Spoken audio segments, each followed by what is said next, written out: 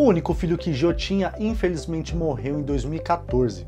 Também não tinha esposa, o que gerou uma grande polêmica sobre quem ficaria com a sua fortuna. Mas será que Jô tinha mesmo uma fortuna? E quem será que está de olho nesse patrimônio? Vamos ver.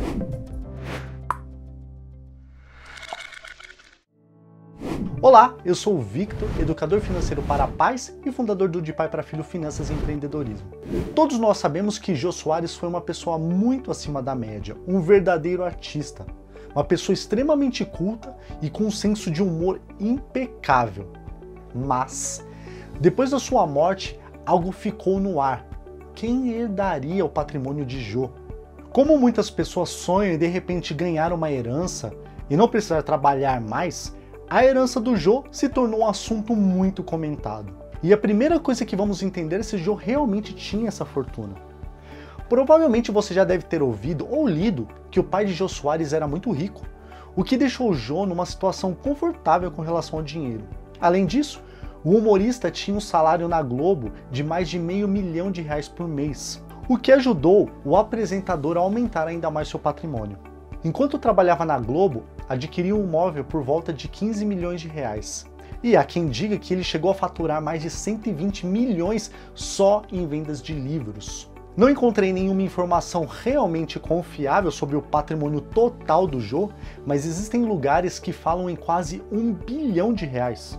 Mas enfim, já que seu filho Rafa infelizmente faleceu aos 50 anos de idade, seu único filho, Jô Soares não tinha mais herdeiros, ele não tinha mais pais vivos e nem irmãos. Também não era casado, isso porque se separou em 98 da designer gráfica Flávia Junqueira Pedras. Não foi divulgado se Jô chegou a deixar um testamento, mas como ele era conhecido como uma pessoa extremamente organizada, é quase certo que sim. A mãe do seu único filho, sua primeira esposa, Terezinha Millet, morreu em 2021 com Covid. Ou seja, família mesmo ele não tinha mais. Sua última esposa, a Flávia, que continuou do seu lado, inclusive foi ela quem deu a notícia de sua morte. Por isso, muitos dizem que ela será uma das beneficiárias do apresentador e humorista. Depois que o Rafa morreu, o Jô, numa linda homenagem, acaba contando a relação de amizade que o Derico, o saxofonista do sexteto, tinha com seu filho. Muitos questionam se Jô, por tantos anos de parceria, possa ter deixado algo para ele. Mas Algo que eu particularmente acredito muito é que Joe deve ter deixado uma boa parte para a caridade, algo relacionado aos artistas e à cultura. Como ele sempre gostou de dar oportunidades para novos talentos e muito ligado à situação cultural no país, eu acredito muito nisso.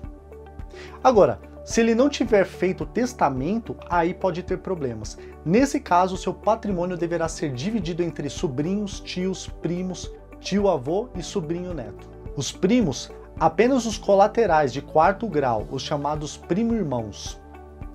Isso se ele tiver. Eu até pesquisei para saber se ele tinha mais familiares, mas infelizmente não encontrei. Joe era um artista bem reservado. E com relação ao testamento, podemos entender um pouco quanto é importante nessas horas. Inclusive, eu fiz um vídeo falando sobre testamento, como falar sobre isso com os filhos e como se preparar. Eu vou deixar o link aqui no card, tudo bem? Mas e aí? Quem você acha que ficará com essa fortuna? Deixe nos comentários se você souber. Não se esqueça do like e de compartilhar com os amigos. Então, até o próximo vídeo.